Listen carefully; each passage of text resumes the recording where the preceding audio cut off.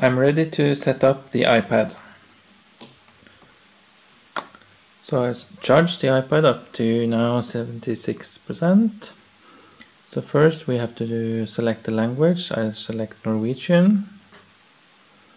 Then I select the, yeah, the country is selected. It's Norway. It will uh, give the then I have to select the oh, I have to select my Wi-Fi network. And now I will enter the password and connect to the Wi-Fi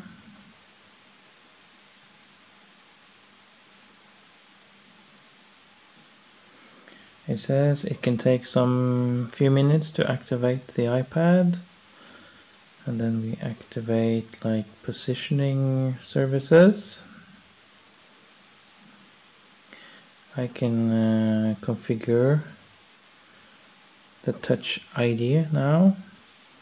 So I'll scan my thumb.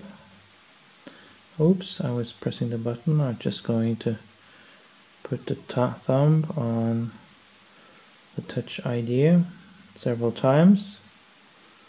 Move the finger, it says. I have to move the finger around so it gets good fingerprint. Then adjust the grip, try to catch the edges of the fingerprint.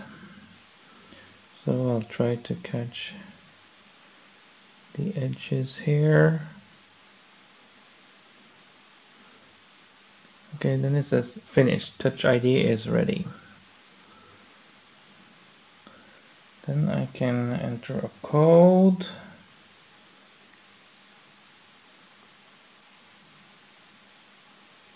Yeah, I will select a, a four digit code first. There, and I have to enter the code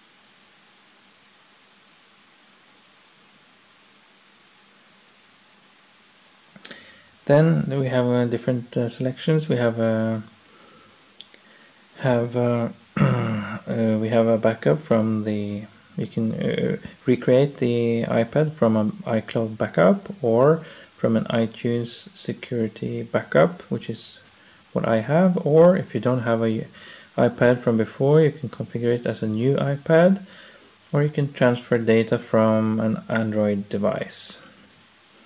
So I will um, uh, yeah, I will use my iTunes backup that I made from my old iPad. So now I have to connect the iPad to the Mac and transfer the backup. So I connected the iPad to the Mac and well, now iTunes says iTunes cannot connect to the iPad because it's locked with a passcode. Uh, so now I have to enter the passcode on the iPad. And then it asks, do you want to recognize the machine? And I take accept. And I click try again in the screen. Okay. So now the screen says welcome to your new iPad. Restore from this backup which was Tommy's iPad. Take continue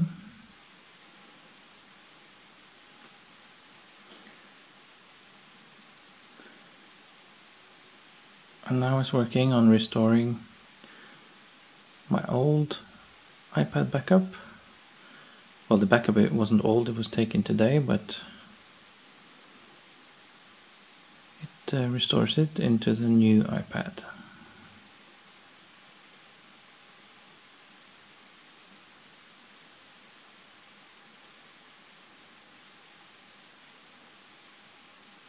Okay.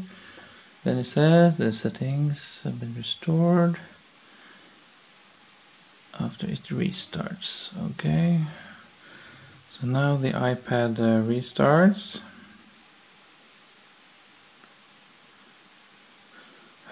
Okay, then there is a passcode again. Just have to press and I click try again in iTunes. Uh, yeah, then I'll wait for the iPad. It, you see here it has progress bar, so we have to wait until this is finished. And then we can possibly update to a newer software version. 1103 it says is available, but I don't know what version we have, but it's probably less than that. I think the 11.1 is coming out soon, which will resolve some of the battery issues. Okay, and then the iPad says update, up, updating finished, and I click continue. And it says select a Wi-Fi network. Okay, I have to enter the wi Wi-Fi password again. Like this and connect.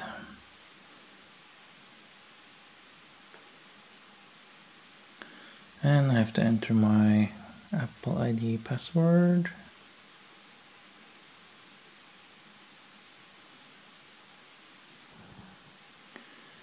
Okay.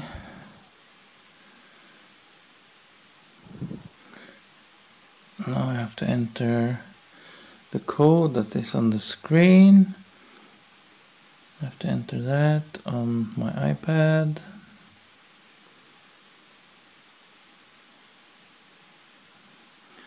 Then it says updating iCloud settings. Here there are some terms which I agree. I don't care to read them.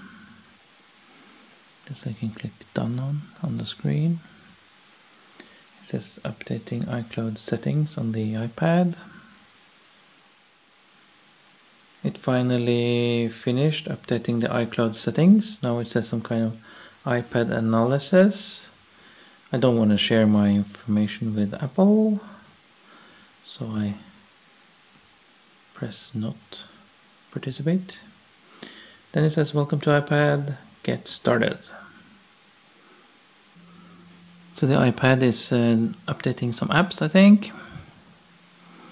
And uh, Mac, it says your Apple ID and phone number are now being used for iMessage and FaceTime on a new iPad.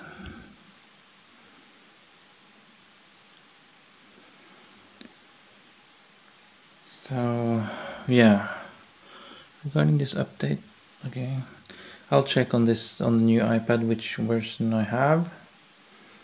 I have 10, 3, 2. Yeah, that's pretty old. So, um, yeah, but I want to wait until these apps have been updated before I update the version. Okay, I waited a few minutes and now the iPad has updated all the apps. Since I have version 10 point something on the iPad, I want to update to version 11 to get the new functionality. So I press download and update on the Mac. Hundreds of new features, yeah, probably. Enter the passcode again on the Mac.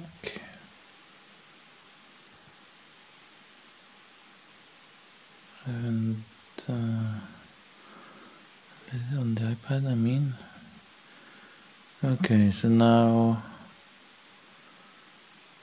it says iTunes is downloading a software update for this iPad and we'll install it when the download is complete. So now we just have to wait for the download and then the uh, installation will automatically start. After quite a long time the iPad says I have to enter my code again. And then it says the update is finished. blah blah blah. There are some steps left. Continue. I have to have the password for my Apple ID. There. Updating iCloud settings, which took quite some time last time. Okay, then iPad analysis. I don't want to share with Apple. I have to press this thing. Uh, okay, access to dock from everywhere. Yeah, that's the new with uh, with iPad. Yeah, you can see here. It has a dock down here, so I press continue.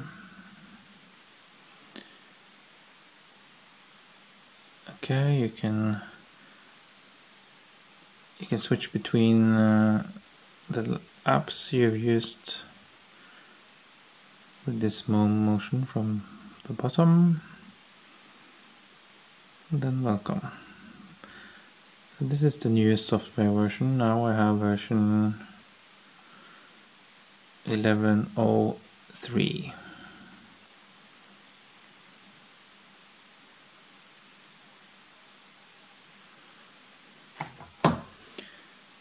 Then when I'm finished, I usually go into the iPad, which is, yeah, now it says iPad 5th generation. And then I usually take a backup. So now I've uh, transferred the backup from my old iPad to my new iPad. I have updated to iOS 11.0.3 and I've a backup of my new iPad. So now I'm finished with setting up my new iPad.